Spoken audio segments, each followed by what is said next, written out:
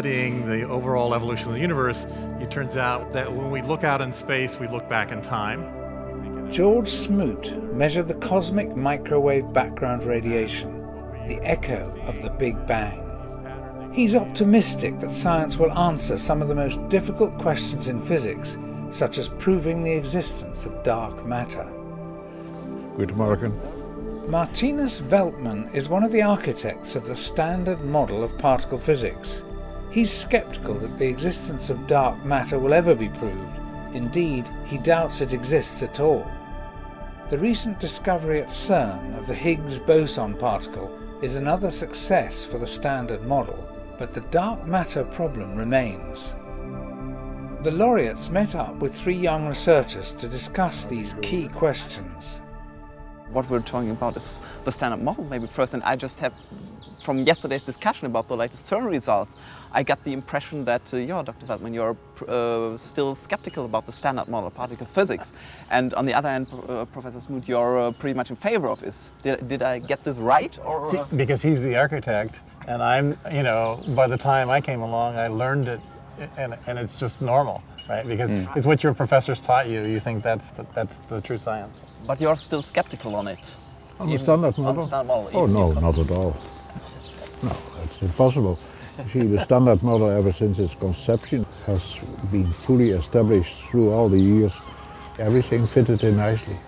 Martinus Veltman made the last big contribution to the standard model because he renormalized the electroweak interaction. So electroweak theory, this is basically what we call the standard model. He was the architect who sort of put all these building blocks together in order to come up with this theory that describes, if not everything, if not, I guess, like dark matter and stuff, but almost everything. The standard model was established in, in the 70s, but almost, it seemed almost immediately people had, uh, had ideas that it was incomplete. We believe there's much physics beyond the standard model, and so you have this tension between having this beautiful model that's working extraordinarily well and knowing that somewhere behind that is is some additional information that we're hoping yep. hoping to find. Tension, right? tension is, is the exact right word, I think, because you ask about uh, our work. In, in my daily work as an astrophysicist, I do my I do my PhD currently in astrophysics. I try to understand how the first galaxies in the universe form and how they then evolved.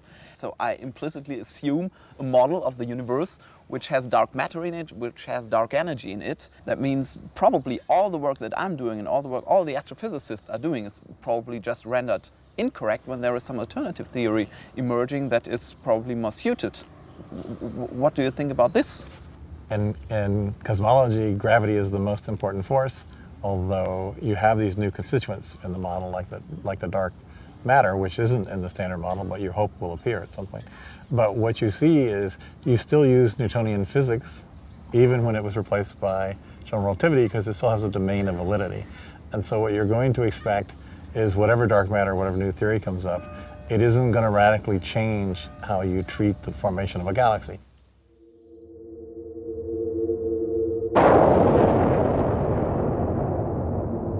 After the Big Bang, matter coalesced into the stars and galaxies we see today. But to fit the way these galaxies behave with our understanding of gravity, there must be more matter out there than we can see. Astrophysicists call this dark matter, but they don't really know what it is. They've also introduced dark energy to explain why the expansion of our universe appears to be speeding up young physicists today must now grapple with these dark mysteries. So, dark matter is a subject that's near and dear to my heart as well. I'm a dark matter experimentalist. I'm working on the LUX detector. And so I want to ask, do you guys have opinions? What do you think what do you think it could be? What? Dark matter. I think it doesn't exist. Huh? Why? Can you Why? can you yeah. elaborate? Oh, I mean, you ask my opinion. Since there is no facts on this matter, you can have any opinion you want. So are and you? I, uh, I consider that one of those things that these astrophysicists introduce in an easy manner every Saturday afternoon. are you a fan of modified gravitational theories then? It or? is an option. There can be two things wrong. Either we don't understand the mass distribution or we have a misunderstanding of the laws of motion. Gravity, that is Newton's law or Einstein's laws. And so on the face of it, I see so many failures of Einstein's theory of gravitation and present-day astrophysics that I tend to think that that's where the problem is. Yes, I am genuinely skeptical, I guess. I often uh, have difficulty accepting this or that or that. I want to see proof of it. And astrophysics, unfortunately, is a business where proof often is lacking. Can you elaborate on those failures a little Yeah. bit? My understanding was that Well, it did a very I, I, good can, job. I can start off with the simplest thing. Have you ever looked up to the sky? and have you ever looked at the galaxy? I just may- look into computer monitors to see galaxies. Okay, now in a galaxy, most galaxies have spiral arms. If the spiral arm is made of stars, it doesn't agree with Newton's equation of motion. Because if you think of planets, the Earth goes around the Sun once a year. Pluto once every 250 years. So you can see that if, th- if they are aligned at some point, it's not going to last very long. In other words, the, the arms of the galaxy, we have first question is what the astrophysicists call the winding problem, is how come these things are still aligned so far in their existence? The winding problem is a real big problem. And guys who are experts in the winding problem, of which there are some, they find out that whatever they are trying in the nature of understanding that or mathematically treating it, it doesn't work. And yet, all of them, including Mr. Smoot, they are absolutely convinced, and it has, that's something that they got taught in their early period. I understand in science you have to have both the things you're trying and testing and not hold on them too, too dear and realize there could be alternatives. But he is sort of like, there's no evidence for anything, you know, why do we need anything new? George Smoot thinks that if he comes with an explanation of something, that it is true. I don't. I want to see proof of it elsewhere. It's just the easiest solution to the fact that you don't understand the velocity distribution of matter circling a galaxy. But there's Sure, other there are so many Put it any way evidence. There's a lot yeah? of evidence. On all there's scales, the, yeah. There's the bullet cluster, there's lensing evidence, there's The entire large-scale structure of the structure universe, yeah. formation, which is No, no, wait a moment. If you now speak about the evidence of dark matter beyond what we are talking here, that is colliding things and lensing and the like, you have also to realize that the thing that explains this straight velocity automatically has to explain all these other phenomena. I don't know So it's, it's not, not something that you would call proof of dark matter. People have been doing experiments on detecting our dark matter with existing particles, I would say at least for 30 or 40 years. yeah, at least. well, at this point, I start to wonder what the hell is going on. Do I have to believe to this church of dark matter? I don't, I don't like that. Wait, wait. So- You know, if you have supersymmetry, you have a natural candidate for dark matter. You, if you have axions, which you need in the, in the standard model, you could potentially make dark matter. There is theoretical places for dark matter. It's just we haven't found it yet. So, okay, everybody happy. And then there uh, comes a new measure, then there comes a new measurement. Ooh, yeah, and then they patch that up by some.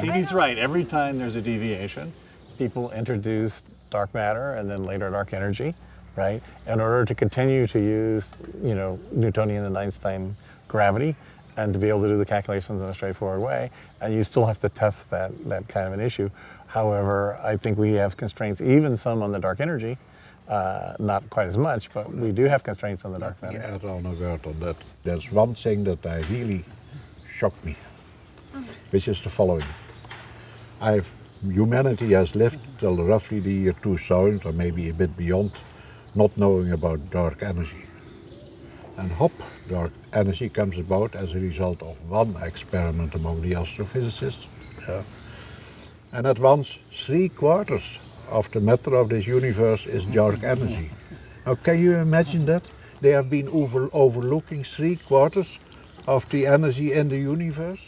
Astrophysics is, in a sense, not like, for instance, particle physics, where you come with a model and then they go verified up to and including the Higgs.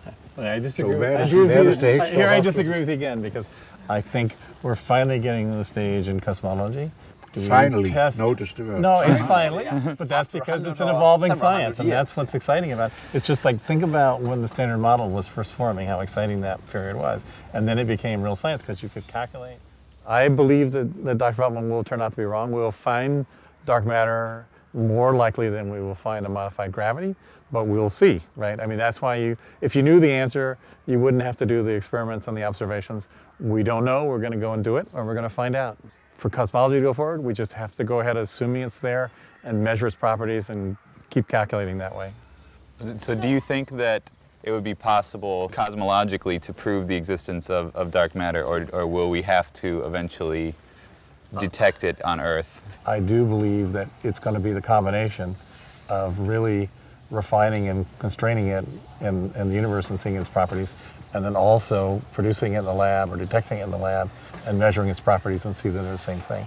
And then, then Tini will be more happy, although he'll still be skeptical I'm, I'm, because I'm, he's a I'm skeptical. unhappy since like 50 years. Or so. no, he is skeptical to start with. You have to understand that.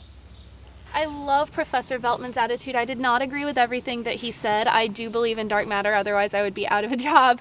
but I mean, people like Professor Veltman play such an important role in physics. You need someone to play devil's advocate, even if there is very strong evidence for a certain theory. You need that person.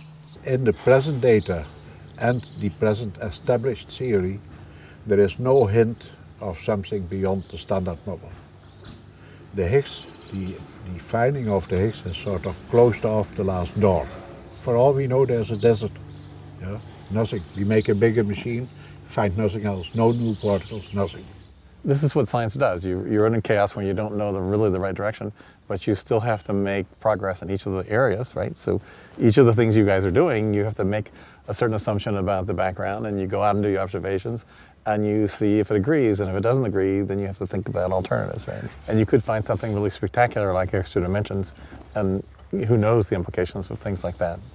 I would be happy to live at CERN, making things, exploring the next energy range, even if I am not given any indication that I'm going to find something. So you're going out into the desert. I'm going down and say, wonderful, let's let's Right. go on. It's like Veltman's analogy of being in the desert. I don't know. Who can say if there's dark matter, if there's no dark matter, if it's a WIMP, if it's an axion, if it's some kind of bizarre extra dimensional extension of a multi dimensional particle? I'm just excited to be throwing myself out there, to be heading off into the desert to see what I can find.